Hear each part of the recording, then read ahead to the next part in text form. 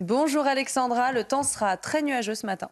Oui, temps d'annonce nuageuse avec en prime du vent en pour la saison. Alors ce matin, temps très nuageux au nord, localement quelques averses en allant au pied des Pyrénées, puis un temps beaucoup plus lumineux autour du golfe de Lyon, avec néanmoins, je vous le disais, beaucoup de vent en Méditerranée. Puis dans l'après-midi, même type de configuration, temps nuageux au nord, nuageux également en allant vers la Bretagne. On aura également quelques averses au pied des Pyrénées, et puis peut-être quelques orages entre les Alpes et la Corse, du vent en Méditerranée. Côté température, ça reste plutôt doux ce matin, avec en moyenne 15 à Paris, 17 degrés à Toulouse ou encore 20 degrés sur l'arc mais dans l'après-midi, les températures restent un peu fraîches. Il manque quelques petits degrés, notamment au nord de la Loire, avec 23 degrés à Paris, seulement 20 degrés près des côtes de la Manche. Vous aurez tout de même 27 degrés à Lyon et localement jusqu'à 31 degrés sous le soleil de Perpignan.